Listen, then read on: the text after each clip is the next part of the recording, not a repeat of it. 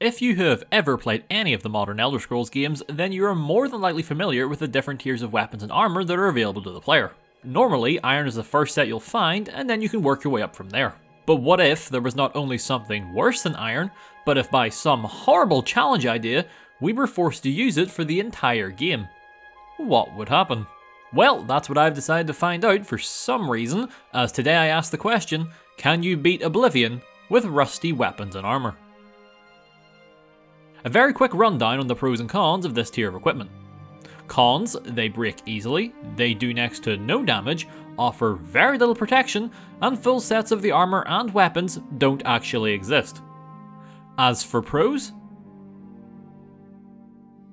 you get them in the tutorial? Well, sounds like fun, so with all that out of the way, let's begin. First off was picking my race, and it seemed pretty obvious to me that Dark Elf was the best by far. The Dark Elves get 75% resistance to fire, which makes a lot of the early game Daedra a lot more manageable, especially with the equipment I'll be using. The argument could be made for going Orc as Berserk would certainly help to increase my damage output, but considering it's a par, I'll only be able to use it once every day, so its usefulness is limited at best, whereas the Dark Elf's resistance is constantly in effect, no matter what. Well, you can't play Oblivion without messing around with the character creator and straight up breaking the sliders to produce results that were never intended such as making a Dark Elf the same skin colour as a Breton. Valen Dreth is as much of an ass as ever, even to his own kin, but that's not important, as it's time to meet Professor X. I've got a bone to pick with you, Uriel. Can't do much at this stage, so for now, let's hear some wise words from the Mythic Dawn. Yes? Cyrodiil is surrounded to the north and east by the lofty Jerall and Valus mountain ranges. Thank you for that. Now please go die. After the Emperor and his guards leave, this single rat somehow busts down the stone wall, allowing us to escape because Baurus thought it would be funny to lock the door behind him. Our first weapons are right here thankfully as I grab the nearby rusty iron bow and rusty iron dagger which I use to fend off the rats. Well, I use the dagger anyway. I'm going to be a real stickler about this. I cannot use the bow for this run as while it does fall under the rusty category, the arrows do not. It's not a huge deal if I'm honest, Marksman in Oblivion is pretty bad outside of having a highly enchanted bow or just using stealth. The dagger does 1 point of damage per hit if you all are wondering. That's going to be the same as the rest of the weapons, just FYI. Speaking of other weapons, in a chest in the next room we find the rusty iron war axe along with the rusty iron cuirass and greaves. The dagger swings faster than the axe, so it's probably better than it for now, but I also prefer axes over daggers, so I am choosing to use it for personal preference alone. The rats and zombies are of no match for me, which is to be expected as we are supposed to be using these weapons for the time being. The drawbacks of the equipment will only really become noticeable once I make it outside. A little further on and we get the rusty iron helmet and shield. What you're seeing right now is pretty much me for the rest of the playthrough, bar a few helpful additions later on.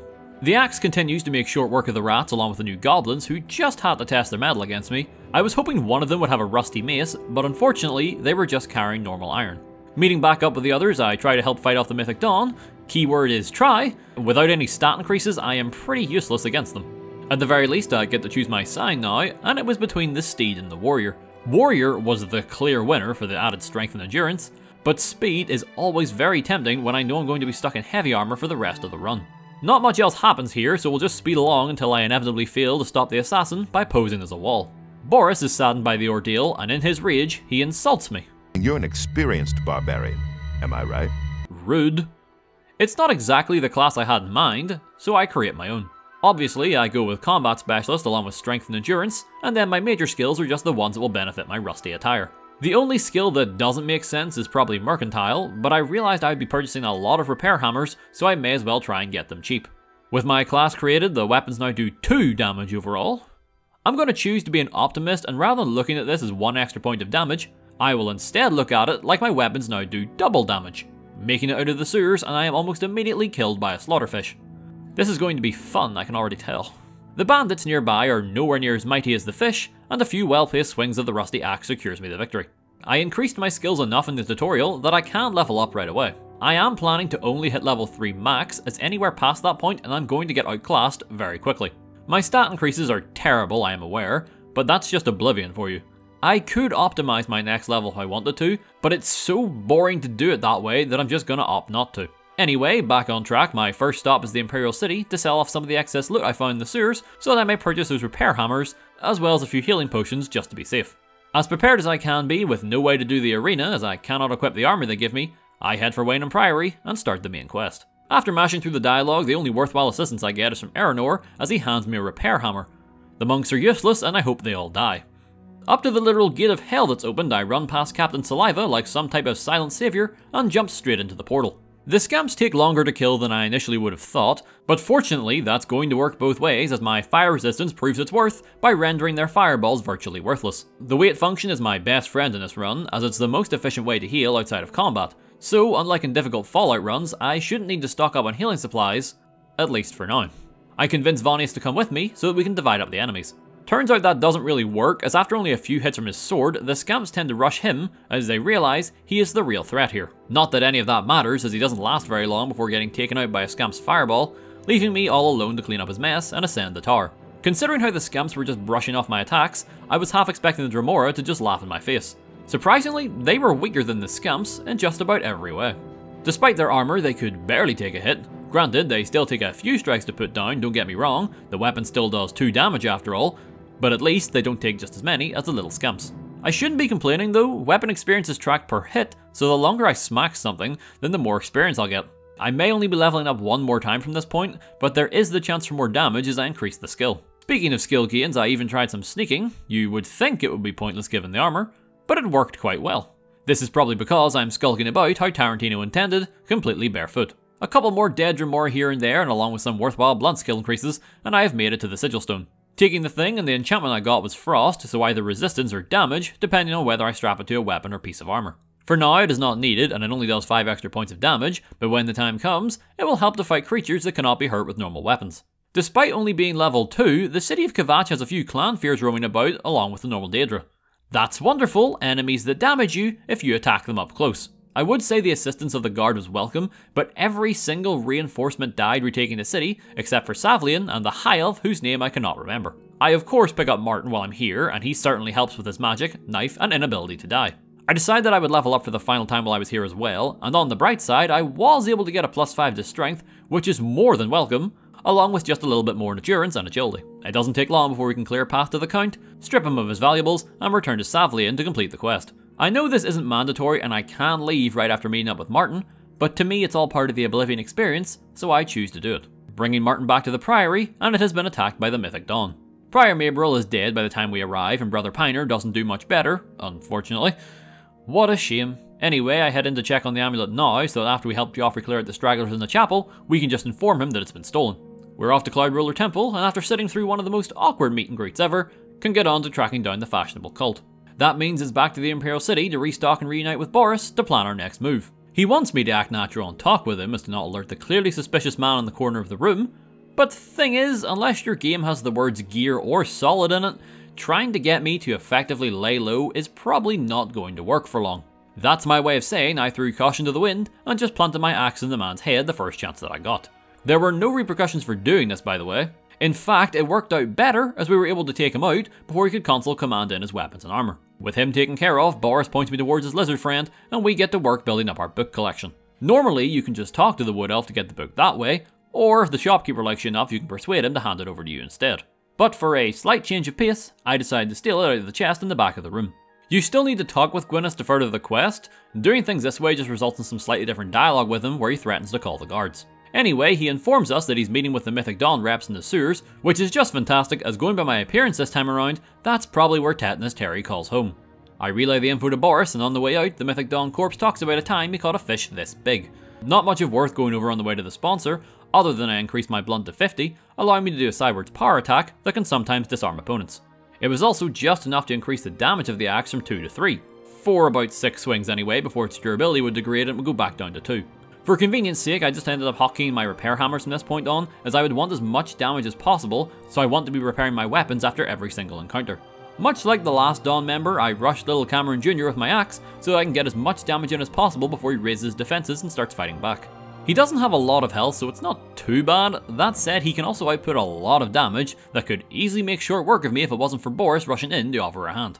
That's one good thing you've probably noticed about Oblivion. A lot of the main quests have you fighting alongside someone else, so even in runs like this, I know at the very least I will have access to a meat shield most of the time. With that, we have the final book, and once we return it to Tar-Meena, we can push on.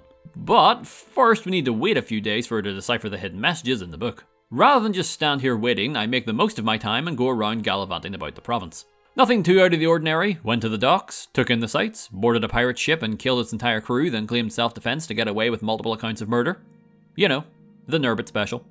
I would have taken part in the actual pirate hijacking quest on the other boat in the waterfront, but unfortunately, to trigger said quest, I need to sleep on that boat, which would unfortunately cause me to level up, and as mentioned, going above my current level would bring about more problems and benefits.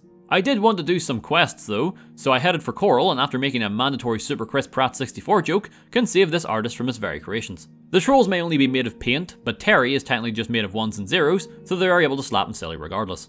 On my second try, I do some Bethesda patented rock climbing and just head straight for the corpse of the thief to retrieve one of the many mystical floating paintbrushes that this game contains. One of the trolls did follow me back, but lucky for everyone, Rythe here does a shocking amount of damage with his fists, and much like Baurus in the sewers, is able to help me whittle down the troll, giving him just enough time to paint us away home. I am rewarded an apron for my efforts, and then I am promptly kicked out of their house. While I was in Chorrol, one of the citizens marked Azura's shrine on my map, and seeing how I would need a Daedric artifact for the next main quest anyway, I decide that I might as well pick this up now. The journey north is relatively danger free, not counting the few wolves, but not to worry, this quest will more than make up for that. I was clever enough to purchase some glow dust ahead of time in the Imperial City, so I don't need to go and retrieve some before I can begin the quest. All that Azura wants me to do is take out some of her former followers who have now been turned into vampires. On paper, that sounds fairly straightforward, and honestly, you would be correct. However, the problem is, these vampires are really strong. Okay, well, not all of them are incredibly strong. A few have next to no armor that even the axe cuts through them in no time at all. The real problems were the two orcs in heavy armor, which laughed at my rusty weapons' attempts at cutting through them. Going one on one with them was not going to work, as even blocking did barely anything, as I would still take a ton of damage. Not to worry, when things seemed grim, I devised a plan. I was smart enough to begin the quest during the day, so backing out of the cave while being chased by the orc let them follow me outside, where the sunlight began to very slowly damage them over time. This brought a few of its own problems with it though, as there were a few scamps in the area due to the nearby Oblivion Gate. For a brief moment, I thought that they might actually fight the vampire, as their fireballs would do extra damage, given that vampires have a weakness to all things fire.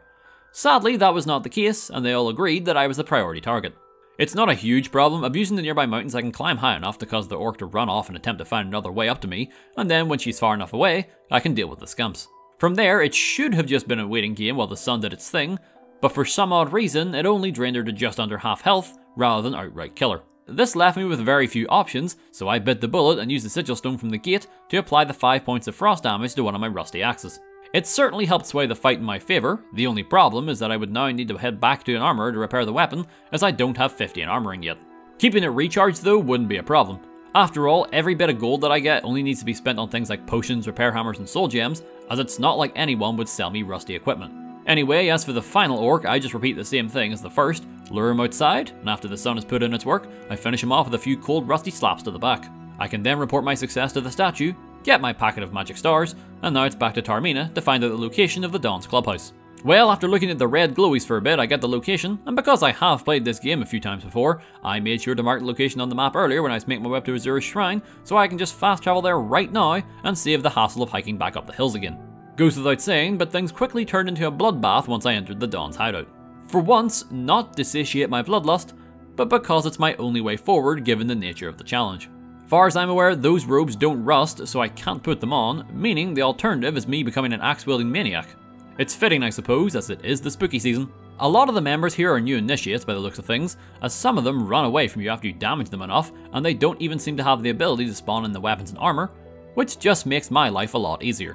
One of them tried to summon some armor, and all she seemed to manage was a pair of boots. A for effort, I suppose, but I'm still going to axe her. In the main room with the Mysterium Xarxes, I royally messed up my first attempt by jumping down and injuring myself, followed up by not focusing Camoran's daughter, and as a result getting blasted repeatedly in the face with lightning bolts.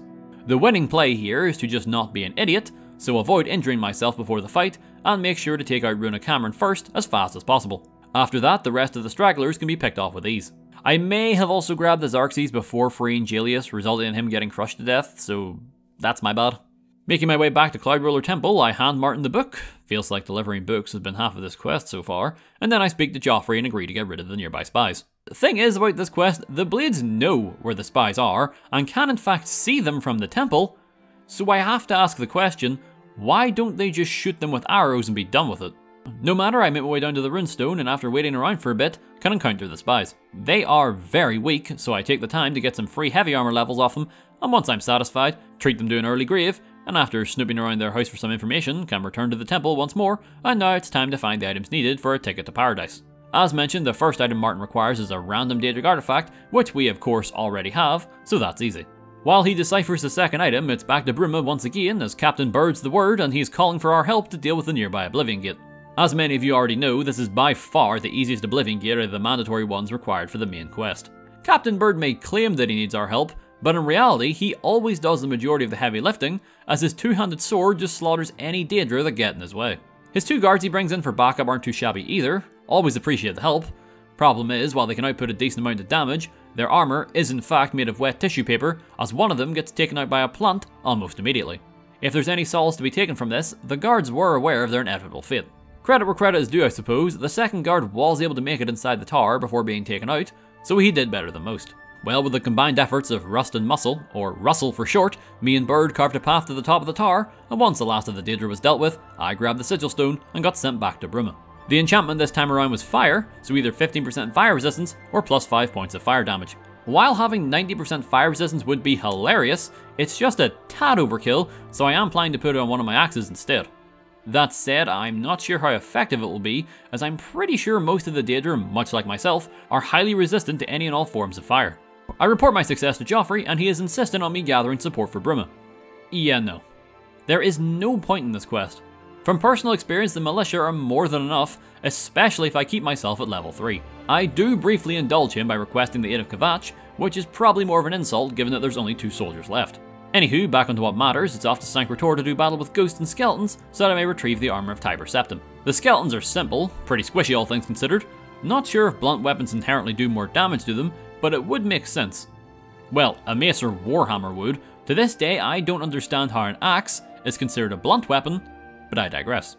That fire sigil stone I just mentioned comes in handy right away, as not only are the ghosts immune to normal weapons, they're also unaffected by frost.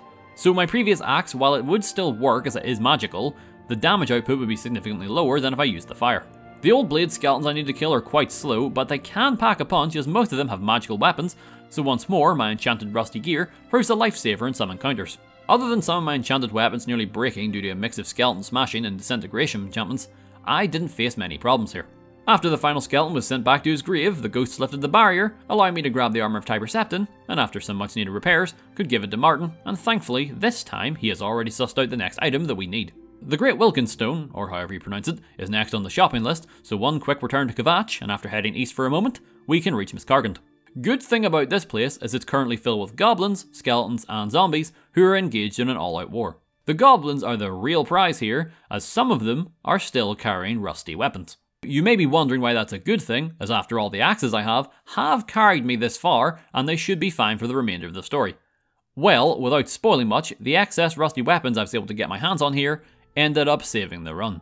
It was mostly just rusty axes, which I expected, that was until I killed this particular goblin, and I guess the stars aligned or something because he was in possession of a rusty iron mace. This is a big deal for one reason and one reason only. The mace does one more point of damage over the axe. Again, I am aware it's sad that this excites me, but in a run like this, even that one extra point can be a game changer. The difference in damage was noticeable immediately, to me anyway, as the speed at which the zombies and skeletons were falling before me was considerably faster. Even the lich that appears at the end after grabbing the stone was down in a few seconds. Granted, it got a little hairy when I had to drop my armor due to his burden spell, so that I could still approach and fight him, but it's not like he was going to do physical damage anyway, so it was all good. After he was knocked out, I grabbed his keys, made my way back to the surface, and now it is essentially the beginning of the end. It was time for the defense of Bruma, meaning a whole lot of Daedra killing, my favourite. My heart briefly sank as the game glitched out and Martin and the Blades never appeared in the chapel to talk with the Countess of Bruma, which made me think the city's defense was going to be up to me and Captain Bird, but thankfully, the God Hard smiled upon me today, and after waiting a few hours, Sean Bean reappeared, and because he never got to deliver a pre-battle speech in Lord of the Rings, we let him do one now. When the fighting begins, I just rush them as they leave the gate, as they are seemingly more squishy than normal. The assistance of Jauffre, Martin, Baurus, Bird, and his men helps clear out any stragglers pretty quickly. Jauffre sadly does not survive very long, probably due to the fact for some reason he never put on his armour and was running around the battlefield with his robes on. Didn't have a lot of time to contemplate his death as almost immediately the Great Gate opened and now it was a race against the clock. It's a race against a very generous clock, but still a race nonetheless. The Daedra inside the gate are a lot tougher than those outside, which makes sense, I think. I made a point to kill as many as I could, mainly because running past them all isn't very fun, plus the added blunt levels may come in handy when I face Camoran in Paradise in just a moment. The toughest foe in the entire gate was the one non-runt Clannfear who just kept ruining my day. The Dremora backing him up wasn't really doing a lot other than trying to distract me though. I was able to beat him with a few charges from one of my enchanted axes, and then after could start beating down the rest of the Dremora with my new iron mace that was still doing work. With 4 minutes to spare, I made it to the Great Sigil Stone. The fact I am using terrible weapons and going out of my way to kill everyone really shows how generous the time limit is if I somehow still have 4 minutes left. With the Great Sigil Stone in hand, it's back to Tamriel once more, and fortunately, Baurus actually survived the encounter and didn't get crushed by the siege engine for once, which is nice. There was also a normal Sigil Stone just rolling around, probably from one of the other gates that was closed, so I made sure to pick it up, and it was another Frost enchantment. I ended up saving this to put on my mace right before facing Camoran, so that I can repair it beforehand and make sure it's in peak condition. Speaking of the mace, all that killing was worth it, as now it does 5 damage. So really, I am as prepared as I possibly can be for fighting Camoran. The runts running amok in the garden are easy enough to deal with, so long as I rest after each encounter, and then the usually annoying fight with Kathutet is a joke, as I'm able to shrug off all of his fire damage for obvious reasons. With him out of the way, I grab the bands of the Chosen and make my way inside, and after meeting up with Eldamil, engage in a brief bout of foot melting before emerging from the caves and coming face to face with the final boss. The battle with Mankar Camoran lasted a grand total of 2 minutes, and I won't lie, a majority of that time was probably spent in my inventory switching out weapons and drinking the odd potion. There would be no point trying to fight off his children as they respawn indefinitely, and if I did, the entire time I was attacking them, Mankar Camoran would just be blasting me with magic anyway or healing himself. Charging him with the mace and its new frost enchantment was my best bet, and I just started wailing on him. He has very little in the way of physical defense, so despite the weapon's pitiful damage output, I am still seeing results rather fast. The problem is he will heal from time to time, so we can tank through them for quite a while. The one thing I didn't count on was the fact that he can and will disintegrate your weapons, which happened a few times during the fight. Regardless of your repair skill, you cannot repair items in combat, so I would need to switch off to another weapon, and now you understand why finding those goblins earlier, and their rusty equipment, was a very good thing. I was smart enough to buy a handful of strong healing potions before the fight, so I can guzzle some of them down to stay alive for just a little bit longer. For some reason, he did not try to break my fire axe when I brought it out, which was a blessing as high elves have a natural weakness to fire, frost, and shock, so this allowed me to do even more damage on him, and ultimately was probably the deciding factor in allowing me to come out on top, as by this point, I was out of healing supplies and at very low health. With Mankar dead, I grabbed the amulet from his body, paralysed myself on his chair as is tradition, and could now take Martin to the Imperial City, and after getting flattened like a pancake by Mehrunes Dagon, at least once, could escort Martin to his scheduled Kaiju fight finishing the game and proving yes, you can indeed beat Oblivion with rusty weapons and armour. That was a lot of fun despite how daunting it felt at points, but that said, you could never make me hate this game no matter the challenge.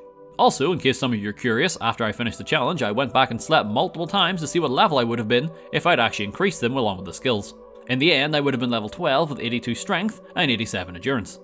Which is honestly not bad at all, or at least it would be for our normal build allowed access to better weapons and armor, as even with my attributes this high, the weapons were still doing the same amount of damage as they were at level 3, whereas all the enemies would have been significantly stronger. Regardless, that's going to be in this challenge video. If you enjoyed what you saw, consider giving the video a like and you're interested in more challenges in the future, feel free to subscribe. Try to have one of these videos every week. My name is Nerbit, stay safe everyone, I'll see y'all in the next video.